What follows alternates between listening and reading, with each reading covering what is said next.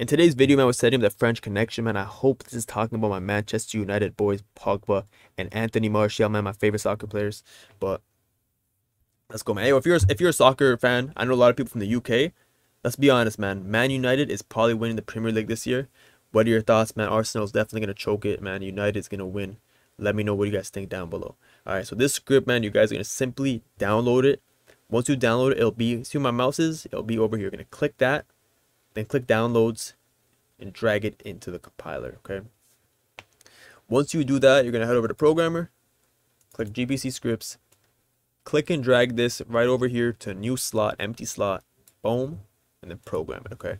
Now everything else is done with the controller. I got the Zen camera set up. We're to set it up, guys. Very simple. This script is insane, man. Make sure you guys try it out, man. Make sure you also subscribe if you haven't already. Alright, guys. So we're going to set up this French connection script we got a new setup and slowly but surely we will make it very HD and very clear for everyone to see. Now, let me just real quick, I gotta fix stuff.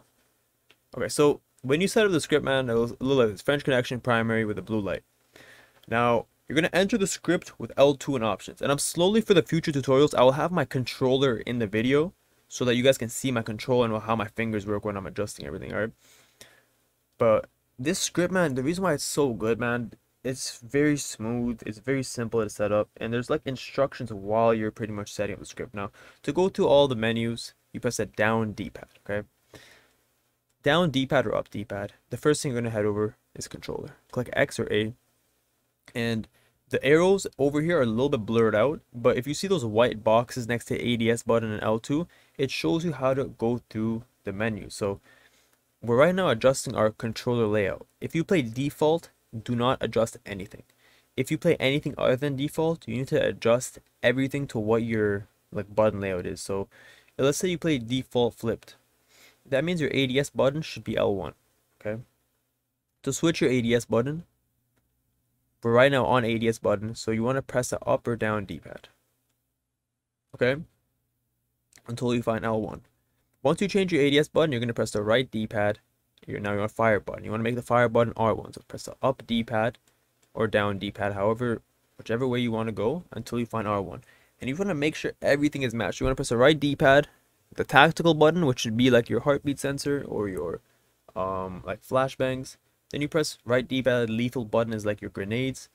And you want to make sure everything is perfect, okay? So your you know melee button, it should be I think if you're on tactical, it should be circle. So you press the up or down D-pad make sure everything is perfect okay? That's your job. I, ca I can't really do that for you all right now i'm gonna make mine back to normal so ADS button l2 fire button r2 everything's back to normal. All right and just one more time man you press the right d-pad to go through all the options and up or down d-pad to change the uh, the button all right now when you press the left d-pad you guys can see hair triggers or block rumble. If you don't want to feel vibration up d-pad to turn on block rumble if you want to have hair triggers, you press up D-pad to turn on hair triggers. All right, once you are happy with your controller setup, you press circle.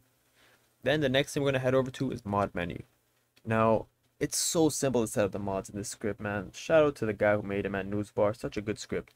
You're going to press the right D-pad, guys, and you'll go through all the mods in this script. And the first thing we're going to set up is aim assist, okay? Now, I will post my aim assist values in the next video, this script is insane for aim assist. You guys need to try it out. I like the tall oval, the wide oval, and the helix. So I'll post my aim assist values there. But what you guys are going to do is when you head over to aim assist, you press the up D-pad to go through all the options. Sticky, circular, tall oval. Then you click X or A if you're on Xbox. And then you can adjust these values. Now, when you click X to, to enter the options, you press the right D-pad. You can see radius and steps, okay? All right.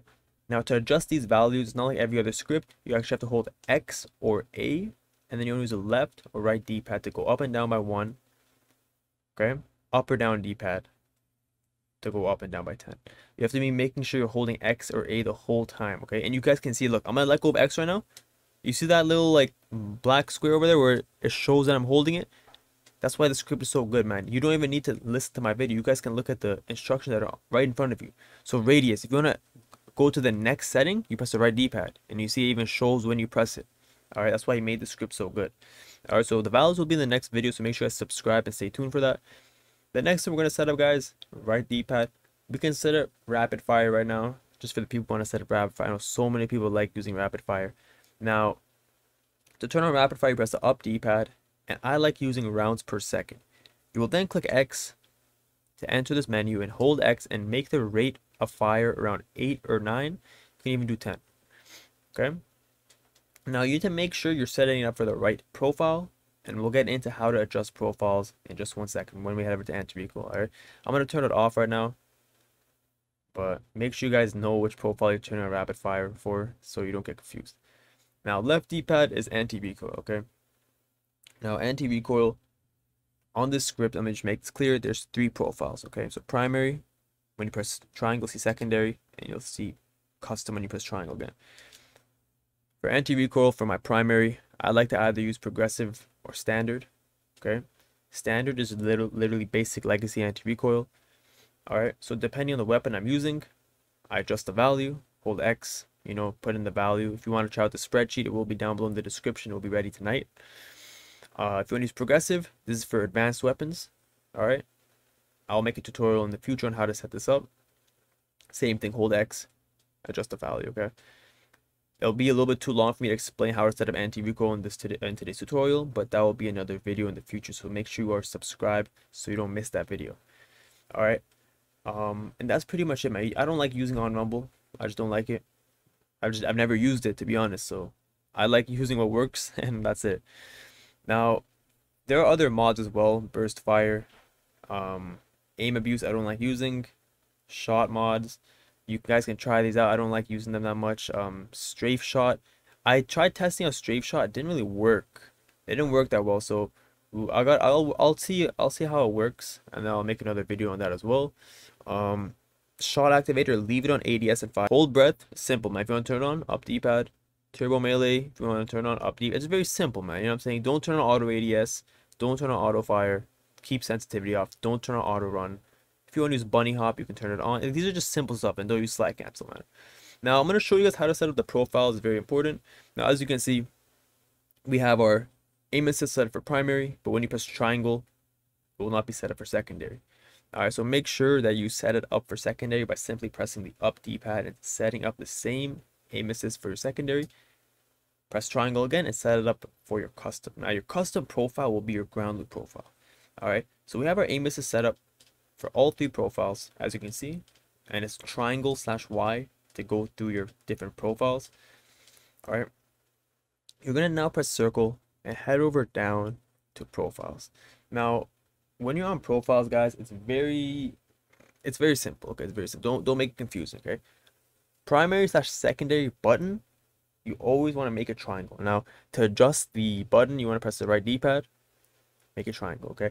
And if you're ever confused, look at the screen of your Cronus Zen, it shows you. So right next to triangle, it shows the right D-pad, and then the left it shows left D-pad. That's how you adjust that value. If you want to go to um, the next part, like let's say, you know what I'm saying, we're going to set up the ground loot or the custom profile, you press triangle. So look, I'm press triangle, now on my custom profile, okay? Now, what we're going to set up right now is how to set up the custom profile. So like using either L2 and D-pad down or L2 D-pad up. So let's actually use L2 D-pad down for resync button. And I'll explain the resync button right after this because now the tutorial is pretty much finished. So if you guys remembered, first button to set up is with the right or left D-pad. Press the right D-pad. Second button is with the down or up D-pad. So we'll press the up D-pad and we'll make it L2 and D-pad down, okay? You want to make the resync button L2 and D-pad down, and you want to make your custom profile any button other than L2 at the first. All right, so let me actually make it L1 and D-pad right, okay?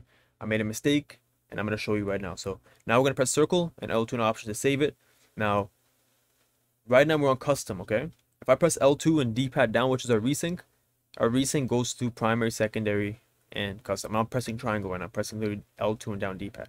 Now, if you want to go, let's say we're playing right now. We have our loadout. When I press triangle, you can see primary, secondary. If I want to head over to my loadout, L1, D-pad right, brings it, uh, sorry, if you want to bring it my ground loot, L, L1, D-pad right makes this custom, okay? Now, let's say you want to exit custom, you do the same thing, okay? So that means L1 D-pad right to head over to custom. When I get my loadout, I press L1 D-pad right again. Now there's also some things I want to explain right now in the script. So when you hold L2 and you want to turn on rapid fire, okay? Let's say you want to make your custom profile have rapid fire. So you're going to head over into the script, mod menu, rapid fire on custom. You want to set up the rounds per second. So you want to make it eight rounds per second. And then you want to turn it and then you want to turn it off. Okay, and I'm going to show you why. So once you set up the value for the rapid fire, and you can actually set up the, the value of rapid fire for every single profile. When you're in game, you can hold L2 and double tap the D-pad right, and it'll turn on rapid fire rounds per second. So you hold L2 and double tap D-pad right. You're gonna have to double tap it three times, and rapid fire is on. Now to turn rapid fire off, L2, D-pad right, hold that. You just hold it. Rapid fire will be turned off. Now there's also different values. If you want to set up different values for anti-recoil, you hold L2, double tap up D-pad. You can go through all the different anti-recoils. And then L2 and D-pad up to turn anti-recoil fully off. In case a value does not work. Alright, now there's also a L2 and double tap left to turn on shot mods. And then L2 and hold left D-pad to turn the shot mods off. This script is insane. I didn't even know that even existed. Just came out of nowhere. I just literally seen it. This script is insane. So many different things you can do. Make sure you guys try it out, man. Download it down below in the description. Thank you so much, guys. aim assist values posted in a couple hours.